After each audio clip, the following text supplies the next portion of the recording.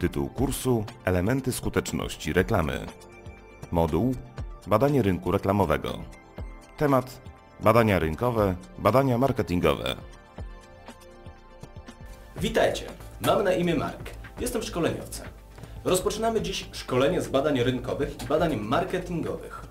Marketing jest całym biznesem widzianym oczami klienta, dlatego też nie może być rozpatrywany jako oddzielna funkcja.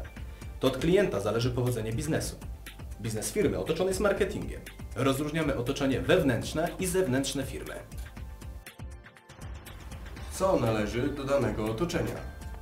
Do otoczenia wewnętrznego należą działania produkcyjne firmy, wszelkie finanse oraz skład osobowy firmy.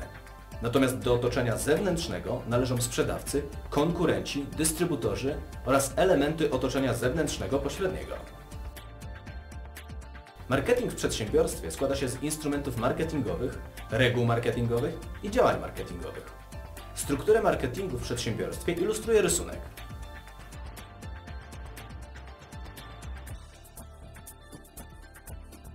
Czym jest rynek? Rynkiem nazywa się zazwyczaj ogół stosunków wymiennych pomiędzy sprzedającymi, oferującymi swoje towary i usługi, reprezentującymi podaż, a kupującymi, zgłaszającymi zapotrzebowanie na określone towary i usługi poparte odpowiednimi środkami płatniczymi i reprezentującymi w ten sposób popyt. W marketingu wyróżnia się kilka funkcji. Planowanie produktu, badanie i analizy rynkowe, zbyt i rozpowszechnianie produktu, reklama i promocja. Badania marketingowe można zdefiniować jako systematyczne gromadzenie, rejestrowanie, analizowanie oraz opracowywanie danych i wniosków dotyczących specyficznej sytuacji, w której znalazła się firma. System badań marketingowych dostarcza dane o zapotrzebowaniu na produkt lub usługę, planowanych zakupach firmy oraz produktach konkurencyjnych, o reakcjach na reklamę, na ceny oraz strategie reklamowe.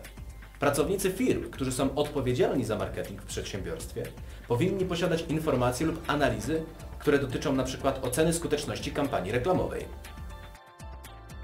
Jakich problemów dotyczą badania marketingowe?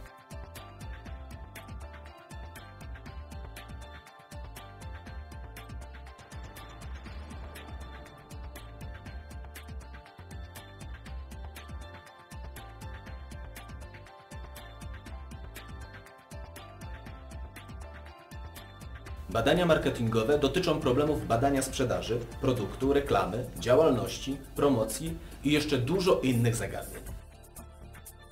Materiał został opracowany w ramach projektu Model systemu wdrażania i upowszechniania kształcenia na odległość w uczeniu się przez całe życie, współfinansowanego przez Unię Europejską w ramach Europejskiego Funduszu Społecznego.